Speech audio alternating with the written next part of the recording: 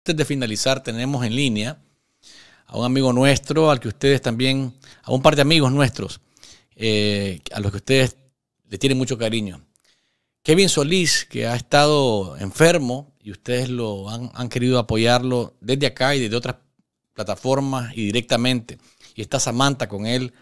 Eh, Kevin ha pedido que le abramos un espacio para hablar con la audiencia de Café con Vos y expresarle su agradecimiento por la cercanía que han tenido con él eh, y con Samantha en estos momentos de dificultad que han vivido casualmente por su salud. Kevin, eh, Samantha, bienvenidos a Café con Vos. Gracias por estar con nosotros. Hola Luis, gracias a vos por el espacio. Siempre estás atento y preocupado por nosotros con tu esposa. Claro que sí. Hola Luis, ¿cómo estamos? Kevin, que, Kevin, Samantha, qué gusto verlos a los dos.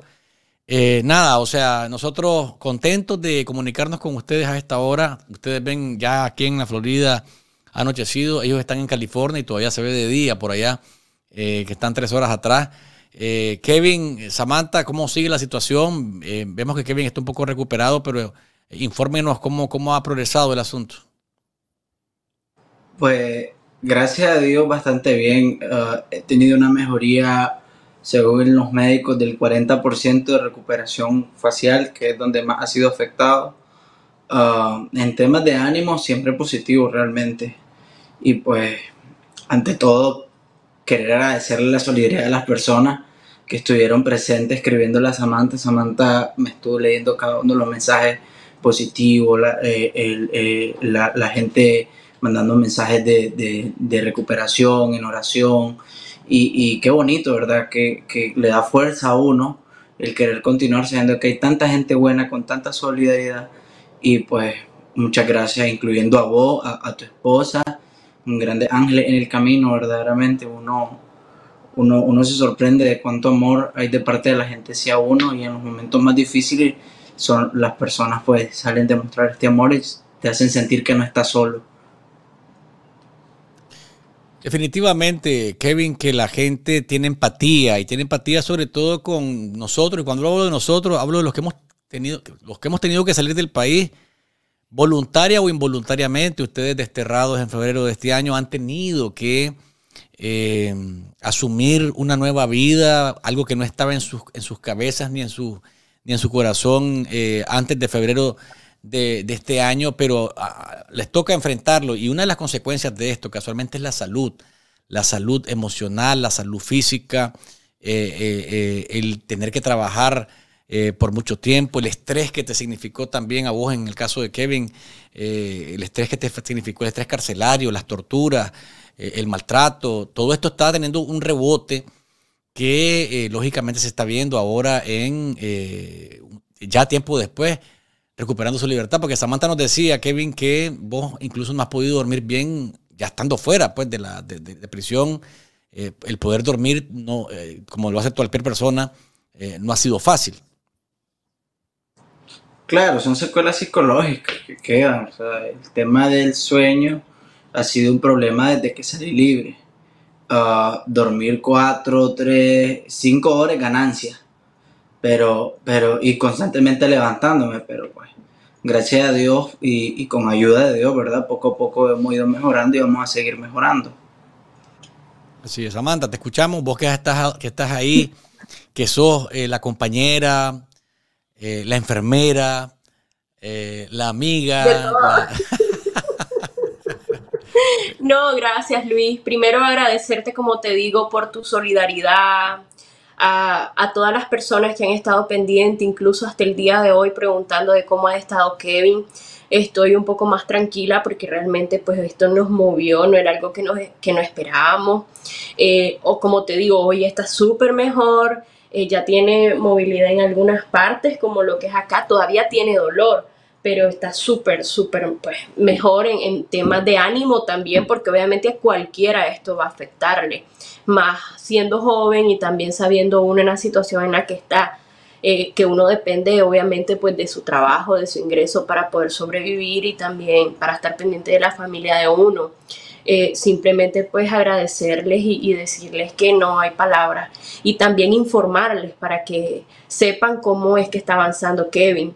Eh, realmente que creo que es un excelente espacio para hacerlo eh, así como la gente ha tenido solidaridad por medio de tu programa, también creo que es una manera de retribuir un poco eso. Eh, que, que, sea acá también donde la gente pueda ver pues su mejoría, obviamente ya ya está preparado, ya se siente mejor para poder hablar, porque obviamente por obvias razones no, no quería tampoco mostrarse de esa manera en medios de comunicación y se entiende, pero ya poco a poco, supongo que ya unos, unas semanas ya tal vez logre recuperar la totalidad. Todavía faltan exámenes y todavía faltan las citas con el neurólogo, a, a volver a repetir varios exámenes también porque todavía tiene dolor en esto de acá, sé que aquí pasa una, una vena súper importante, un nervio, pero no debería de tener dolor, entonces esas cosas obviamente eh, nos preocupan, pero va avanzando, va avanzando con el masaje, la fisioterapia y tratando de estar tranquilo, que a veces uno, ¿verdad? Con ciertas situaciones obviamente es casi imposible estar en su totalidad tranquilo, pero hasta donde uno puede, pues trata, trata. Y ustedes dos son, son, son chavalos y, están comprometidos en medio de las dificultades. También he visto eh, eh, pues la frustración que han sentido. Tu publicación de ayer, por ejemplo, decía un poco el hartazgo que hay a veces cuando en medio de tanta dificultad, en medio de tanto, de tanto sufrimiento del pueblo de Nicaragua, haya gente que está más empeñada en atacarse y en desbaratar al otro y no hablar de la dictadura, sino hablar del otro opositor y atacar al otro opositor porque no me cae bien o porque estuvo antes o estuvo después. Esas cosas que son realmente molestas y que desgastan. Pero, Samantha, el tema del trabajo, porque ustedes estaban trabajando de noche hasta, hasta, hace poco, ¿no? Eh, ahora, a partir de esto, ¿cómo ven la situación? ¿Están pensando en en modificar, están, están, están pensando en cambiar de, trabajo porque es desgastante, pues no, es fácil esto. Sí, realmente, o sea, nos ha tocado tomar lo que hemos tenido, obviamente, a mano eh, de primera instancia.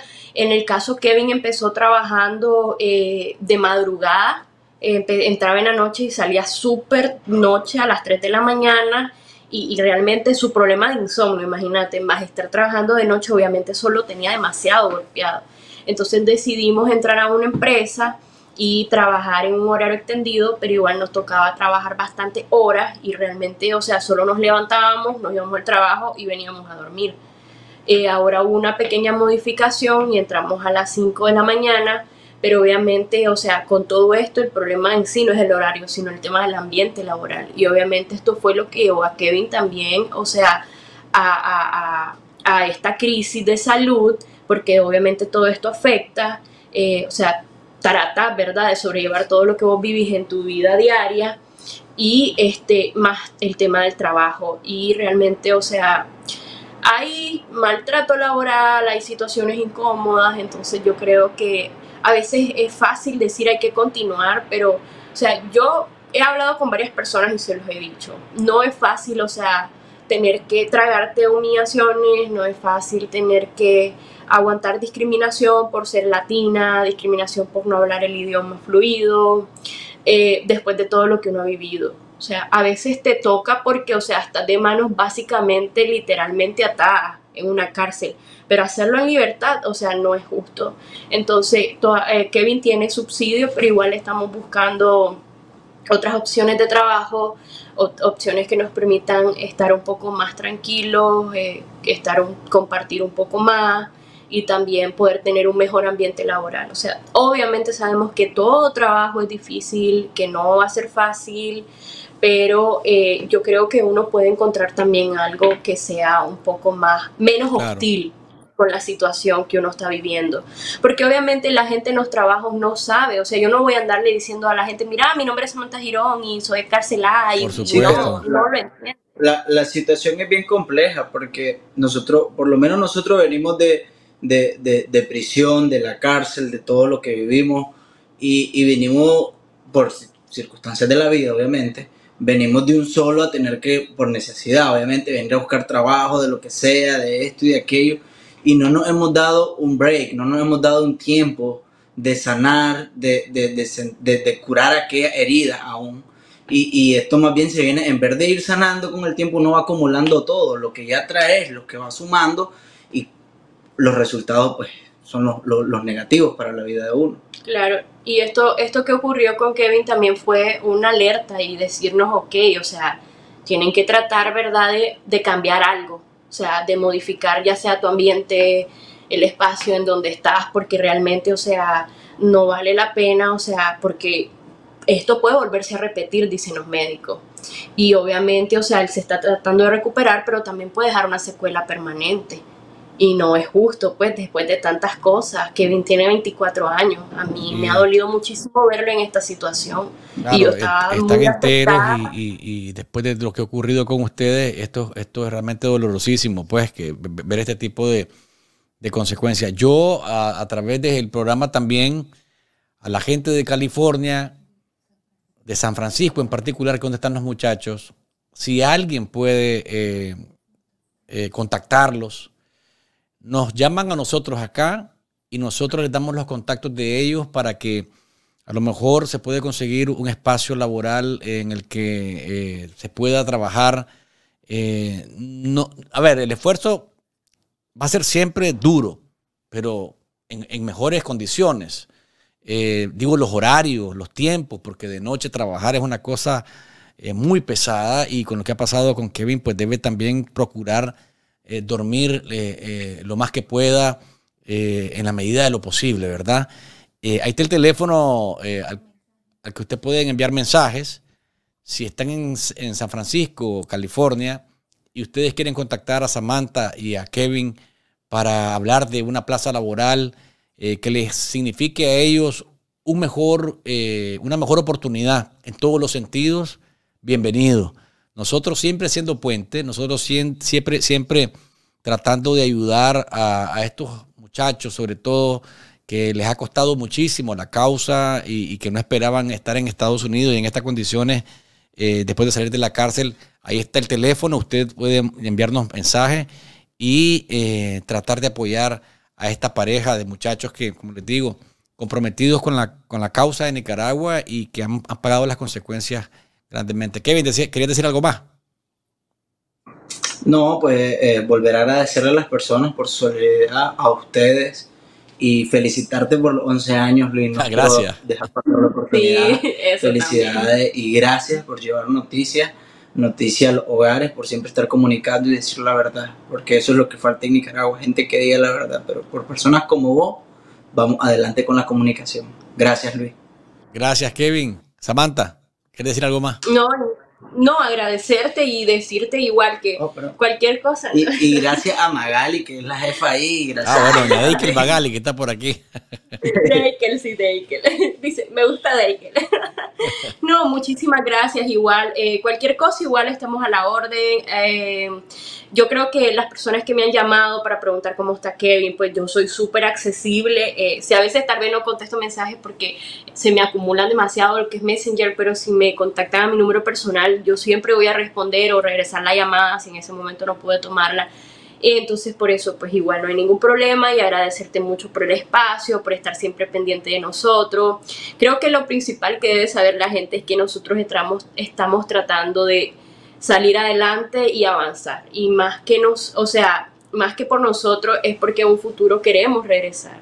Y queremos regresar bien, de nada nos sirve regresar y no poder aportar. Entonces, eh, la lo principal para nosotros es en este momento estar bien, subsistir y seguir estudiando. Seguir estudiando y sería, eh, sería una gran ayuda igual si saben de algún contacto, si saben de algún lugar donde estén contratando y que eh, pues puedan ser puente. Seguro que sí.